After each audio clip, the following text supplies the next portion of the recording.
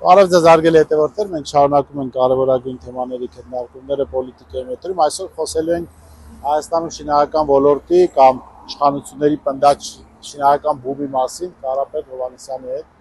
անկախ փորձագետ։ Պարոն Հովանեսյան, ինձ ինչ ինչն է հետաքրիր, այն որ իրականում շինարարությունը Երևանում հատկապես աննախադեպ է, կարծում այսպես կույրին էլ տեսանելի է, բայց աննախադեպ մեծ շինարարությունը ամենևին չի նշանակում որ դա լավ է, որովհետև ես մի օրինակ ասեմ, քաղաքային խնդիրների տեսքով,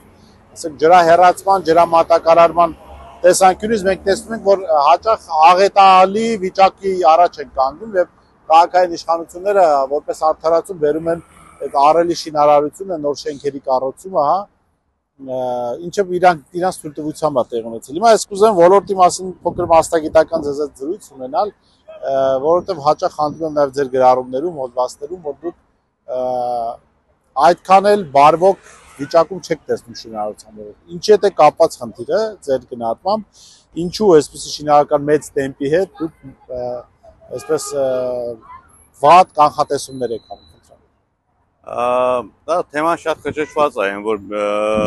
մի հաղորդման շրջանակում երևի թե մի հարցազրույցի դժվար է բոլոր հարցերին պատասխանելը, բայց ինչ ինչ ունենք, այո, տեսանելի աչքով տեսնում ենք շինարարությունների սկսած վիճակ, բայց նաև այդ նույն տեսանելի աչքով տեսնում ենք, որ այդտեղ տեմպ չկա, նաև եթե վերցնենք որ շենքեր ունենք որ ավարտական ժամկետները արդեն լրացել է եւ այնտեղ ենք տեսնում որ գործ չկա անստեղ ձմեռը բարենպաստ էր այդտեղ էլ չունեինք աշխատանք տեմպերը թույլ է տեմպերը թույլությունը ի՞նչ է ունենում շինարարության ի՞նչ պատճառ է ունենում ունենում է պատճառ 1 եղանակային, պատճառ 2 մատակարարումների շղթայի կտրվածություն, պատճառ 3 գումար չլինելու այդ մատակելի մատակարարումների շղթայի հետ կապված։ Մենք եղանակ տեսել ենք ձմեռը լավ է եղել, գարունը լավ է եղել, ամառը էլի լավ է եղել, հիմա էլ է լավ եղանակը, բայց երբ որ անցնում ենք շրջում ենք, այդտեղից իմ ուշադրությունը գրավել, այդտեղից եմ սկսել կենտրոնանալ հարցի վրա, հետո հասկացանք, որ պահանջարկը շատ-շատ մեծ է։ Ինչից է սկսել։ Խնդիրը, եթե իրականում հետ գնանք, առաջի ամենակառուցապատողները դեռ 8-10 տարի առաջ երբ որ սկսեցին, վաճառքի սխեմա վերցեցին այդ արհեստական սղության մեթոդը։ Որ ասենք գալիս էր, տեսնում էր միտե փորում են, շենք են սարքում, ասում էր եղբայր, ես ինչ եք ստե փորում։ Իմ հետ շատ հաճախ ա եղել այդ հարցը, ասում են շենք ենք սարքում, ասում էր, բայ լավ է, ինչ լավ է։ Ինչ ինչ արժի, ասում է, վաճառած է։ Դե այդ պատասխանը երբ որ որ ասպես վաճառած է, վաճառածա վաճառածա գործը ուրեմն լավն է ուրեմն պահանջար կա եւ բիզնեսին գործարարներին սկսում է հետաքրել ոլորտը, սկսում են օրորի շատանալ գալը։ Իրականում իհարկե մի բան մենք ունեցել ենք նաև այդ պահանջարկի մեծությունը, դա ունեցել է օբյեկտիվ ու սուբյեկտիվ պատճառներ։ Եթե նշենք հերթականությամբ, առաջի խնդիրը, որ շուկայի վրա ազդել է, դա եկամտահարկի այդ վերադարձի օրենք վերադարձի հակապետական իմ կարծիքով բանկերի համար գրված օրենքներ, որը որ դեռ պետք է ինչ-որ մի օր գնահատվի վերջը ինքը ինչ վնաս հասցրեց այս պետությանը։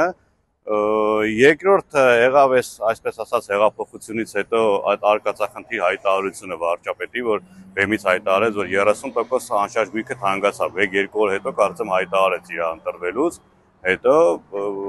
տեղից Հայաստանում միշտ ուղճացված է եղել հայերի հոգեբանության մեջ միշտ այդ խնդիրը կա, այսպի գուցե ուրիշ ազգերի մոտ է կա, որ ես 3 սենյակ անստունը վաճառեմ, երկու հատ 3 սենյակ գնեմ, մի քիչ փող մնա, չգիտեմ, այդ այդ ֆոկուսը ոնց պետքա լինի, բայց այդ այդ խնդիրը կար, միշտ էլ բոլորի մոտ բարձր էր գները իրականում լինում։ Մի հատ է 30% հետո է թանկացրեցին։ Դրանից հետո ունեցանք այդ գերավճարների վերադարձի մասին որոշումը, որը իրականում այդ տարիներով կուտակված 20 տարի կուտակված գերավճարներ էր բիզնեսի ձեռքը, որը իրականում կարծում եմ արդար եւ ճիշտ որոշում էր, բայց ինքը պետք է նպատակային վերադարձ լիներ։ Օրինակ ասեին, որ եղբայր վերադարձնում են, բայց գնա ներդրում արա Երևանից 100 կիլոմետրի վրա որևէ բիզնես գյուղատնտեսական կլինի, հյուրանոց կլինի, այդ նպատակով քո գերավճարը քեզ հետ վերադարձնենք։ Ինչի համար, որ նախ առաջինը այդ գործարարի գումարը հոսեր դուրս, որովհետև երբ որ այդ գործարարի մոտ մեծ ահռելի գումար է հայտնվում միանգամից պետությունից վերադարձ, ինքը երկու տարբերակ ունի, կամ պետքա նոր բիզնես հիմնի, որովհետև հիմնականում որևէ մեկի բիզնեսը էլ արդեն մեծացնելու հնարավորությունները շատ չեն Հայաստանի շուկայում կամ այդ գումարը պետքա արտահանի դուրս կամ պետքա ուղղակի այդպես բուտ տարբերակով մտցնի անշարժ գույքի շուկա։ Այդ վստահ այդ գումարը մտել է եւ ազդել է այդ աժոտաժի վրա։ Երկրորդ դրան հաջորդել է մեր հետ այդ պատերազմական վիճակը, երբ որ մենք զոհերի ընտանիքների փոխհատուցում ենք ունեցել 4500, ընդեղ էլ խոշոր գումար ա եղել, որը որ մտել է անշարժ գույքի շուկա իմ կարծիքով, ու այդ պետության կողմից ամեն դեպքում տեսանելի է այդ ամեն ինչը գումարների շարժը։ Դրան հաջորդել է ռուս-ուկրաինական պատերազմը, ռուս-ուկրաինական պատերազմի հետևանքով եկած այդ տուրիստների հոսքը, որը որ բարձերը արհեստական բարձացրեց եւ մեր մոտ էլի կարճ է մարկանց գերագիտության հետ կապված հարցա, որ իրանք մտածում են, որ այս փախստականները 20 տարի մնալու են ըստեղ եւ այդ հաշվարկով գնում են բնակարան են գնում արագ, որ վարձով տան, որովհետեւ ձեռ էր տալիս 300.000 վարկ պետք է մուծեր, բայց 400.000-ով կարողանում էր վարձով տալ։ Այս ինչը որ բերեց շուկան փչացրեց, այս պահանջարկը մեծացրեց, գինը բարձացրեց եւ գինը բարձրանալուց նաեւ այդ մարժան բարձրացավ կառուցապատումից միջև վաճառք եւ բնականաբար ստացվեց այն 30 տարի առաջվա պատմությունը. Բաստրմայի ցեխեր, կոնյակի ցեխեր, որ բոլորը իրար նայելով նույն գործը անում են։ Արելի մեծ քանակով մարդիկ մտան շուկա սկսեցին կառուցապատման դաշտ գալ։ Եվ մարդկանց պետքա վիճակագրությունը ճիշտ ներկայացվել։ Հիմա մենք ունենք արելի մեծ առաջարկ, քանց պահանջարկ եւ ոչ էս գնով գնով ունակ առաջարկ, պահանջարկ երբ մենք ասում ենք որ անընդհատ ես դրա մասին խոսում եմ որ վիճակագրությունը ճիշտ ներկայացրեք ասում եմ որ ճիշտ ներկայացրեք որ չդառնա այնպես որ մարդիկ կառուցեն մի բան որ վերջում չկարողանան ինքնարժեքով վաճառել եւ անընդհատ պետության խուսափողական պատասխանները բնակարան միավոր քանակի վերաբերյալ երբ որ չեն հայտնում ինչ հարցում ուղարկում ես ասում են դե քաղաքապետարանի էջում դրած է քանի շենքի թույլտվություն է տված։ Չէ, շենքով կամ շին թույլտվությամբ չես կարա որոշել։ Շենք կա 50 բնակարանա, շենք կա 200-ա, շին թույլտվություն կա, որ 800 բնակարանի է, միավոր բնակարանի քանակա պետք հայտնել մարդկանց, որ այդ բիզնեսմենը այդ կառուցապատողը հասկանա, չգիտեմ, 2-300 հազար օրինակի համար արդեն կառուցապատման թույլտվություն կա, ասի լավ, ես ես դաշ չգամ, էլի վերջ չի լինի։ Հիմա տեսեք, պարոն Ավալցյան, ձեր մտահոգությունների ֆոնին ես զրուցել էի մի կառուցապատողի հետ ամիսներ առաջ, եւ ինձ էլ էր հետաքրում ես ահռելի քանակությամբ շինարարությունը որ կատարվում է արդյոք այդ բնակարանները գտնելու են իրենց գնորդներին, որտեղ ես չեմ տեսնում Հայաստանում գնողունակ այդպեսի զանգված, հա, որ երևի տասնյակ հազարավոր տներ են կառուցվել այս ընթացքում։ Մենակ Defense Housing-ը 40000 մարդու համար օրինակ նախատեսված, Գյուրջան կասկադն է կառուցում 32 շենքով ու տասնյակ այսպեսի նախագծեր կան։ Ինչ բացատրեց հետեւյալ կերպ, որ Հայաստանում հատկապես վերջին 30 քանի տարիները Երևանում բնական կա բնակ ֆոնդի մաշվածության 1.5% ամեն տարի, բայց Հայաստանում 30 քանի տարի գրեթե ոչինչ չի արվել եւ բնակ ֆոնդը այնպիսի մաշվածություն ունի, որ անընդհատ նոր շենքեր են պետք լինելու կառուցել։ Դուք գիտեք, որ երևի տասնյակ հարյուրավոր վթարային շենքեր կան Երևանում։ Հիմա այս հանգամանքը ոնց կարող է ազդել շուկայի վրա։ Տեսեք, հիմա ընդունենք վերջի վերջի ժամանակներս սեյսմիկ ծառայության տնօրեններ միացած, այնպես որ ժամանակ առ ժամանակ կադաստրնա խոճապ առաջացնում մարդկանց մեջ, նաև սեյսմիկը մի հատ այնց հայտարարություն արեց, որ Երևանի հին բնակ ֆոնդը նախատեսված ա եղել 7-8 բալ սեյսմակայունության, իսկ Երևանը 9-10 գոտի ա վերագնահատվել եւ հիմա նոր նորակառույցները 9-10-ի է կառուցում, այսինքն ընդ երբ որ պետությունը գալիս է 5 բնակ ֆոնդի մասին խոսում է, դե սեյսմիկ ծառայության տնօրենը պետության ներկայացուցիչ է, ուզես չուզես եւ դրան առաջակ չի ներկայացնում, այս տարօրինակ է, այս դառնում է, որ ինքը զուտ ուղակի անշարժ գույքի շուկայի ակտիվացման համար է խոսում։ Հիմա ինչ է սա, եթե ես ընդունում եմ որ դա կա, բայց ինչ ենք անելու, ասենք այդ հին շենքը քանդելու ենք, մարկանց ասենք գնացեք մի ձև փող ճարեք տուն առեք, չէ, չի լինելու դա։ Ովքեր որի հին շենքում են ապրում եւ իրանք գիտեն իրանք շենքի վիճակը, իրանք գնացել են արդեն գնել են։ Իսկ ովքեր որ վիճակի չեն այդ գույքը գնեն, իրանք չեն կարացել։ Սա իրականում 10-15 տարի առաջվանից էր պետք գնահատել այս իրավիճակը եւ կառուցապատման թույլտվությունները տալ հենց այդ նույն հին շենքերի փոխարեն, ոչ թե նոր տարածներում եւ ասել որ օրինակ մարկանց ժողովուրդ ջան ձեր հին շենքը գնալու է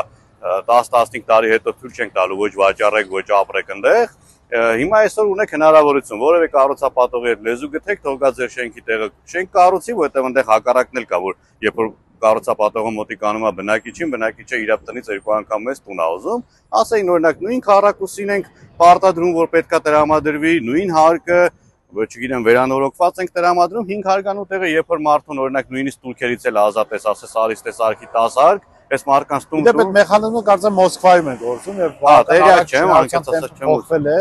հին շենքերը տալիս են կառուցապատողների, իրենք կառուցում են այդտեղ նոր շենքեր եւ բնակիչներին տալիս են բնակարաններ ամ։ Շատ նորմալ ձև է 15 տարի առաջվանից ուղղակի տեսեք, մեր մենք մեր մեր երկրում եւ ժողովուրդը եւ իշխանությունները սովորաբար չգիտեմ, էսի խոպանչու հոգեբանությունա, թե պետության չընկալելիության հոգեբանությունա։ Երկարաժամկետ ծրագիր չեն կազմում։ Այդ նույնը կարակ նաև բիզնեսի մեջ տեսնեք, երբ որ արտադրություն չեն դնում, այլ առևտրով են նախընտրում զբաղվել, երբ որ գյուղատնտեսության մեջ չեն գնում ներդրման, որ երկարաժամկետ արդյունք ստանան, այլ արագ, այսինքն բոլորը ինչ որ կար ջամկետի վրա են իրանց կյանքը պատկերացնում, չգիտեմ, մտածում են ամեն դեպքում կորցնելու են այս երկիրը, չգիտեմ, Արցախի Վանա, տեսա հաղթեցի տրավաբանությունն է գործում։ Իրականում այո, ես այն մտահոգությունը ես էլ եմ նկատում, որ Հայաստանը ըստ էության դարձել է դարձել է մոլերի ու նոր կառուցող շենքերի Հայաստան ասում Երևանը նկատում, որ Հայաստան Երևանից դուրս գրեթե բաներ չի կատարվում մոլերի, առևտրի կենտրոնների ու նորակառույց շենքերի ինչ որ բնակավայր։ Չկա արտադրություն, չկա երկարաժամկետ պլանավորում։ Հիմա ես ձեր գրառումներից հասկացա, որ շուկան կարող է նաև փլվել։ Ճիշտ է հասկացել, փլվել, որովհետև եթե Ինչա նշանակում շուկայի փլվել մարդկանց համար, որոնք արդեն գնել են բնակարան։ Տեսեք, ինչի համար ենք այդ ռիսկը տեսնում, որ կարա փլվի, որովհետև եթե անձեն աչքով տեսնենք հանձնված շենքերը, տեսնում ենք, որ այնտեղ 50%-ից ցածր է բնակը բնակվածությունը, դաժե շենքեր կան, որ 10%-ն է բնակվում, այսինքն մենք ստեղ գործ ունենք եկամտահարկի օրենքից օգտվելով սպեկուլյացիայի մեջ մտած մեծ քանակի մարդկանց հետ հիմա այդ գույքերն էլ է գալիս գումարվում շուկայում որ վաճառքի, այսինքն դե մարդը ինչա կամ գնելա որ պետքա վաճառի կամ գնելա որ պետքա վարձով տա։ Երբ որ առաջարկը շատացավ, վարձովի գինը իրան ձեռ չտվեց, ինքը մտածելու է ազատվի այդ գույքից, դրան գումարվելու է բնականon արտագաղթը, դրան գումարվելու է բնականon այն պահանջը, որ մարդը որ հասնում է երեխուն բանակի տարիքի ինքը որոշում է, որ ըստեղից պետքա գնա, նույնիսկ նորմալ ազգային մարդկանց դեպքում, որովհետև վերջի պատերազմից հետո այդ անդուր նախադասությունը, երբ որ ասում են որ կարար է զոհերը չլիներ, բայց այս էլի այս նույն արդյունքը լիներ, դա հայրենասեր մարդու մոտ էր առաջացնում հարց, լավ, էլ ես ինչի մնամ իմ երեխան ես հասկանում եմ այդ գնաբանը։ Գերիները տարիներով այնտեղ են իշխանում, չի զբաղվում հետաքրություն։ Գեղար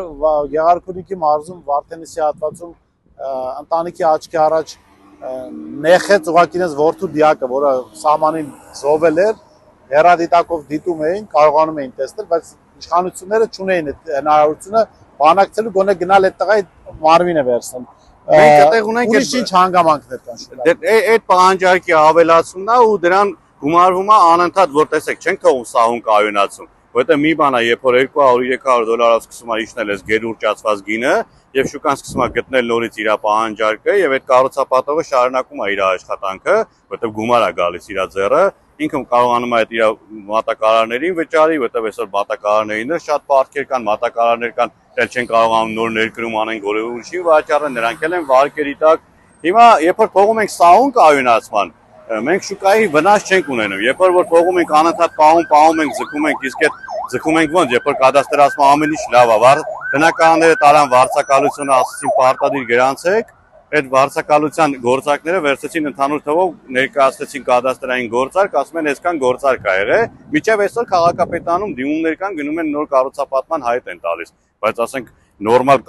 դեպքում պետքա բիզնեսմենը նայելով այս վիճակին, այս վաճառքների տեմպի չլինելուն, պետք է ասի, որ չէ, այ ախպեր, ես գնամ ուրիշ գործով զբաղվեմ, որովհետև ասենք ստեղ արդեն անհերանեկար է, հատկապես այսօրվա կառուցապատման турքերով, որը որ էլի միտված էր, այդ կառուցապատումը կանխելու։ Հիմա եթե մենք այդ process-ը անընդհատ չենք թողել սահուն կարգավորվի, ինչ որ բայ ինքը քաոտիկ անգնելու։ Հիմա շատ այդ խոսում են եկամտահարկի օրենքը, որ 25 թվին վերջանում է,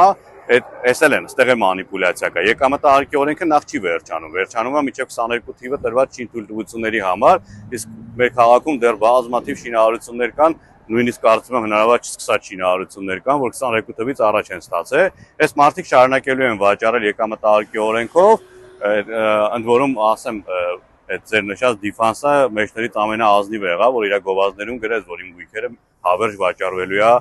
եկամտահարկի օրենքից օգտվելով, բոլոր շինակառուցապատողները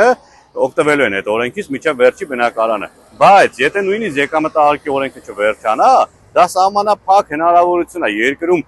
բոլորը չեն կարող դրանից օգտվել։ Դեռ շեմ կա աշխատավարձի, որ պետք է այդքան գոնե ստանաս, որ կարողանաս դրանից օգտվես։ Իսկ եթե դու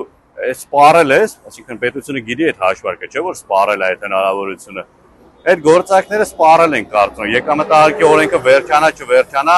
ինքը չի ազդելու այս։ Դրանով գնորդ չի լինելու։ Դրանով գնորդ չի լինելու, կարող են երկարացնել նույնիսկ միջոց գտնեն, գնան էլի 1 միլիարդ դոլար էլ պարկ բերեն, հետ վերադարձնեն հարկերի տեսքով Դες հիմա դարձել է տես չէ որ այս երկիրը քասիվների երկիրն է հարուստները իրանց հարկը հետ են վեստուն տուն են առնում բանկերին են տալի իսկ քասիվների տված հարկերով պահվում է մնացած երկիրը դրա համար էլ ունենք են ինչ որ կա էլի